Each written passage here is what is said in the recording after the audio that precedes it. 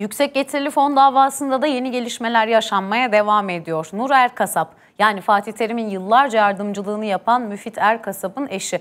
O da Seçil Erzan'a 450 bin dolar kaptırdı ve fona dahil olma sürecini anlattı. Erzan'ın kendisine Fatih Terim isminden bahsetmediğini vurguladı.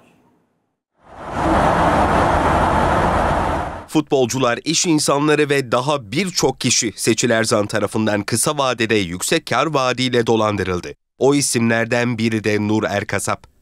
Aslında şöyle diyeyim, Seçil Erzan bizi seçti diyeyim. Öyle bir güven e, size veriyor ki e, bir şey sorgulamıyorsunuz. Nur Erkasap'ın anlattığına göre Seçil Erzan önce güven verdi, sonra da fondan bahsetti. Bak dedi işte bundan e, çoğu kişi para kazandı, kara, kazanıyor. E, Hakan Ateş akrabalarına bir sürü para kazandırdı. Nur Erkasap, Fatih Terim'in yıllarca yardımcılığını yapan Müfit Erkasap'ın eşi. Bankada tanıştığı Erzan'a 450 bin doları bankada elden verdi. Geriye ise hiçbir ödeme alamadı. Dolandırıldığını öğrendiğinde ise artık çok geçti. Ne zaman öğrendim biliyor musunuz?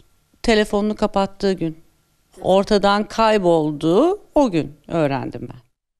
Nur Erkasap, Erzan'ın kendisine Fatih Terim'den bahsetmediğini söyledi. Fatih Hoca'dan bana bahsedemez. Yani bana bahsettiği zaman bilir ki ben hemen Fatih abiye soracağım böyle bir şey var mı diye. Erkasap Terim'in adının anılmadığını vurgularken damadı Volkan Bahçekapılı'nın Seçil Erzan'a teslim etmesi için kendisine 1 milyon dolar verdiğini anlattı. Bana Volkan deyin dese ki abla şu kadarını götür bankaya teslim et dese ben zaten bir şey sormam. Zaten e, Seçil'e de öyle bir güveniyorsun ki aklımın köşesinden zaten farklı bir şeye geçmez.